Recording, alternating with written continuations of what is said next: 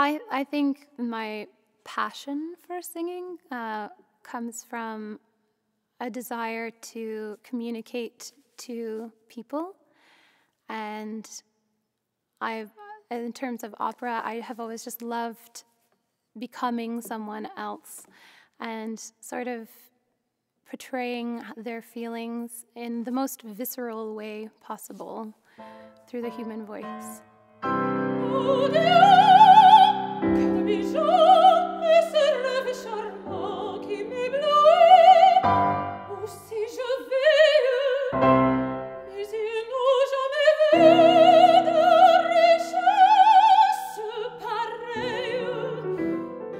My name is Beth Hagerman, and I'm a soprano. I would say my love of music comes from my family.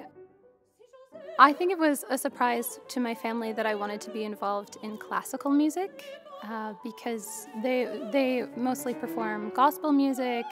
Not many of them even really listen to classical music.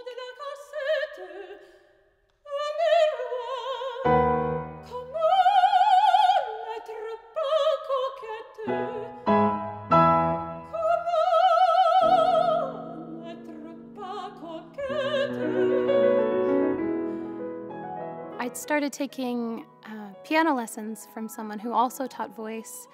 And originally we were just doing piano, but then we started doing half and half voice and piano. And I ended up just really loving it and falling in love with the with opera and the bel canto singing style.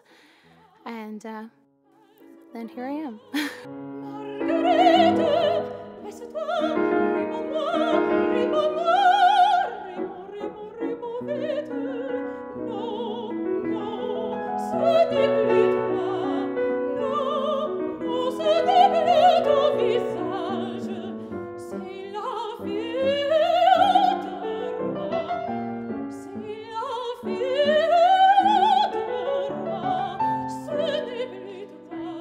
I'm singing the Jewel Song from Faust by Gounod.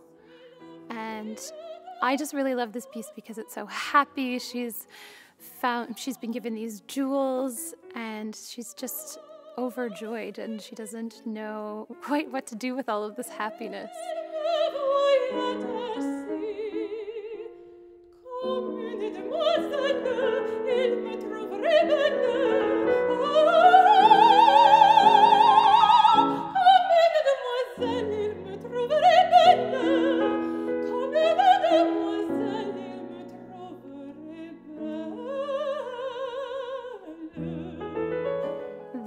Challenges for being an opera singer are many.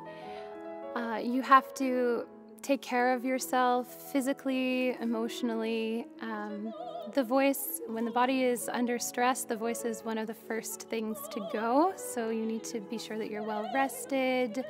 You know, you're not going out all the time. And there's so many aspects of being a classically trained singer.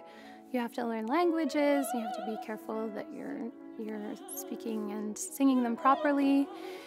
Um, there's acting, you need to go through acting coachings, and then the, there's, of course, the singing portion, which is, you know, very technically demanding as well.